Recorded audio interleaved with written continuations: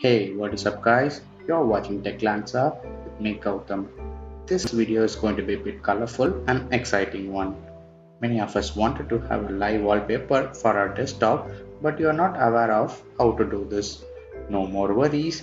In this video, I'll show you how to set a live wallpaper for your Windows machine. So let's get started.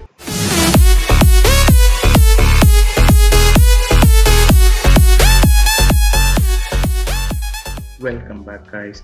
For this trick, you'll need a small third-party tool. This is the website which gives you that file.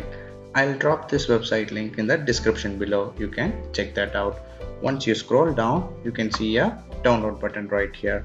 Once you press that, it will download a small exe file which is of 5.3 MB. The downloaded file will look something like this. It's time to install the file. Once you install, you will have a window like this. Here you'll need to add your wallpaper. For that you'll need to download a mp4 video. Let me show you how to get it. Go to YouTube and search for live wallpapers 4K.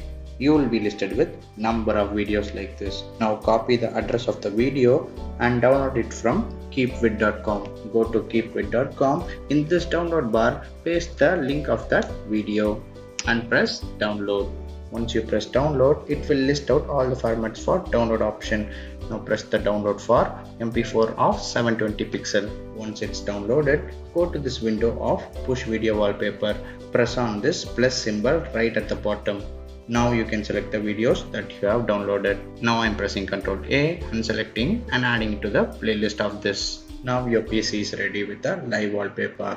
This software is compatible with Windows 7, Windows 8 and Windows 10. And I also wanted to say an important note. This live wallpaper will eat few of your RAM. So you can check that out in your task manager. Let me show my task manager. You can see here right the push video wallpaper has consumed 94 MB from my RAM. So that is pretty much for this video guys. Just try out this trick and let me know your views on the comment section below. I'll be so happy to read that out. Thank you so much for sticking right till the end. As I say always, I would really appreciate if you smash that subscribe button and it also means so much for me if you press that notification bell. With that being said, this is Ghautham signing out.